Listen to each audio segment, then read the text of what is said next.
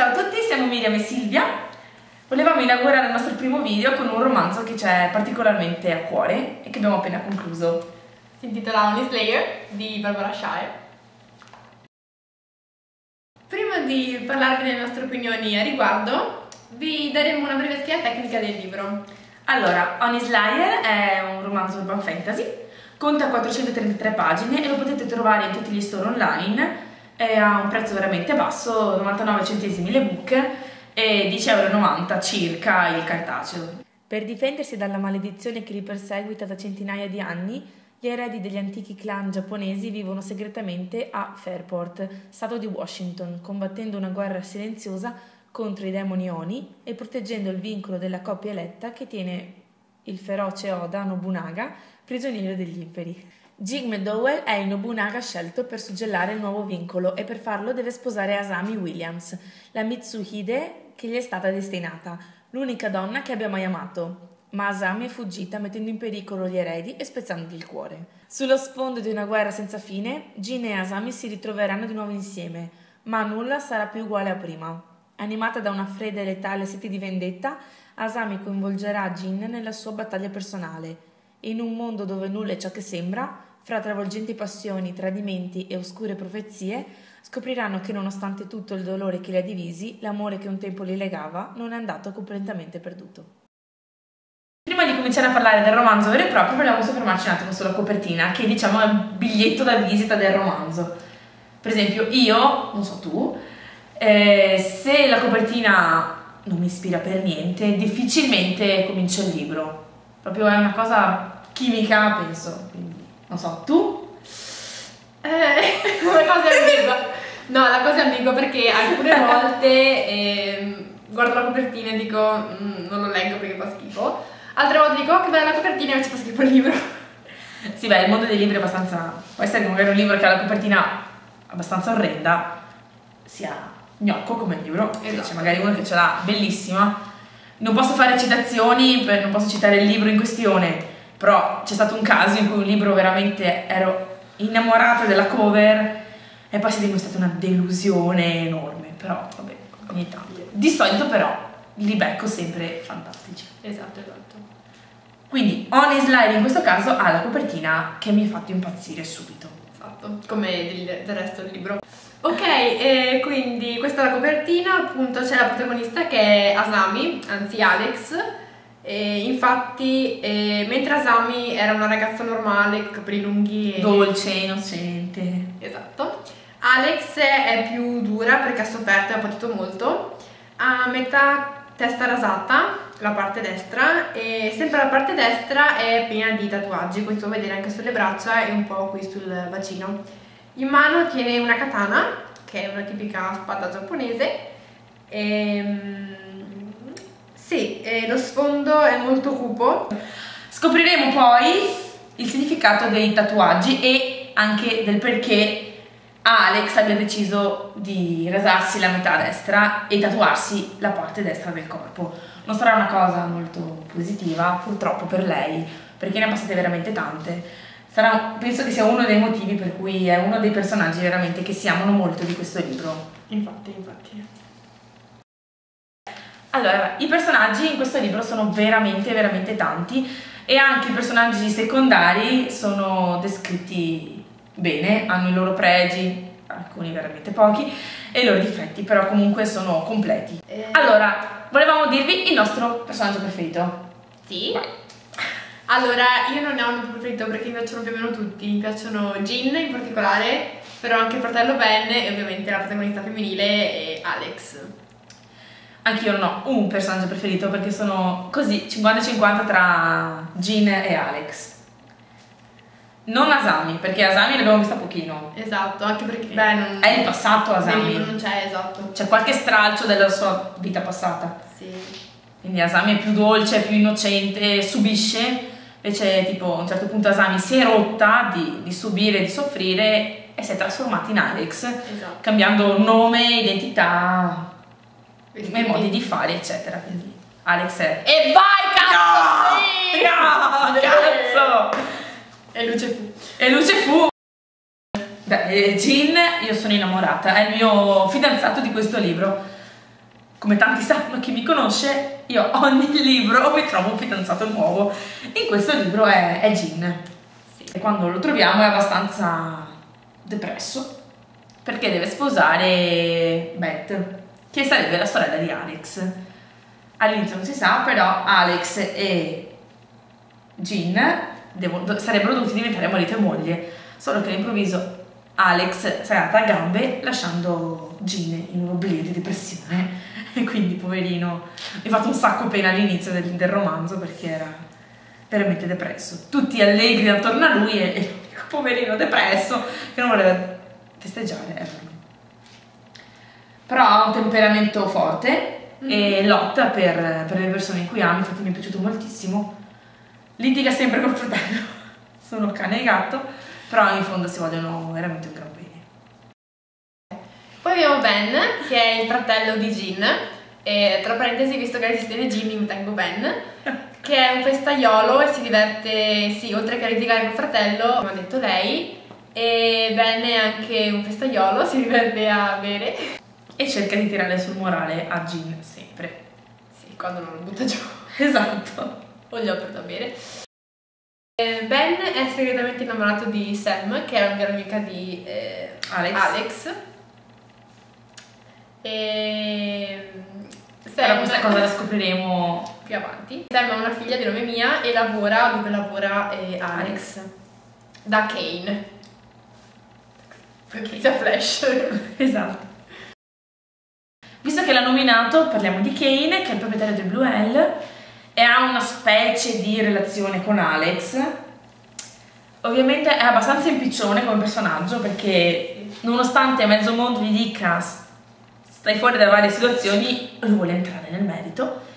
Però comunque ha salvato più volte la situazione. Esatto, i nostri quindi se non ci fosse stato lui forse non sarebbe andata così la storia. Forse sarebbe andata meglio personaggio importante che non abbiamo nominato subito lo volevamo aspettare è Alex Asami Esatto. mi è piaciuta moltissimo perché è forte nonostante sia in realtà molto, molto fragile e soffra moltissimo. Parte nel romanzo con uno spirito, però non conta che, che l'amore arriva e distrugge i suoi piani apparentemente infallibili di vendetta. Di chi deve vendicarsi? Alex? Taro, che si scopre poi essere il fratello, perché infatti all'inizio si legge che Alex sta cercando questo Taro, però su- successivamente si Che capisce... io credevo fosse suo fidanzato. Ah no, era già il suo fidanzato. Sì, però quando comincia il libro non sono fidanzati. Sono passati tre anni da quando Ah, il quello attuale dici? Fosse il fidanzato attuale? Sì. Ah, Siccome all'inizio non dice esattamente chi è questo Taro. neanche chi è Alex per mente. No, Si capisce dopo che Alex è Asami. Sì, sì, però siccome c'è Alex che corre un rischio abbastanza grosso, sperando che, che Taro venga a- in suo, tra virgolette, soccorso, io ero sicurissima che Taro fosse un, un fidanzato, tipo un principe azzurro. Poi sì, E scopri. invece, esattamente l'opposto. E, e infatti è l'antagonista di questa storia. Questi sono i personaggi più o meno principali, non li abbiamo detti tutti perché sennò vi togliamo comunque il gusto di scoprire Sì. questo romanzo, però comunque mi sono veramente piaciuti tutti, anche Taro, sebbene sia il, L'antagonista. il cattivo. il cattivo della storia. Però anche lui ha... Sì, è so completo, perché. è ricco di, di emozioni, Sì, sentimenti, per quanto malvagi si siano. Sì. Quindi insomma siamo curiosissime del- di leggere il seguito, Molto molto curiose. perché appunto c'è un finale abbastanza... Sospeso. Sì, aperto. io ho sofferto molto. Cioè, speravo in un finale, e invece l'autrice in due secondi ha sconvolto tutto. Io ero tipo... Comunque. Wait, what? Comunque la- la- l'autrice mi ha scritto l'altro giorno e mi fa non preoccuparti sto già scrivendo il sequel, quindi io Ok. ho fatto i salti di gioia, infatti gli ho gli ho scritto, stavo saltando per casa dalla gioia, perché avevo il terrore che finisse così, quindi... Ok. Anche se abbiamo già bene o male detto cosa ne pensiamo del libro, volevamo un attimo dire un po' le impressioni che abbiamo Sì, avuto. per tutta la situazione. Esatto.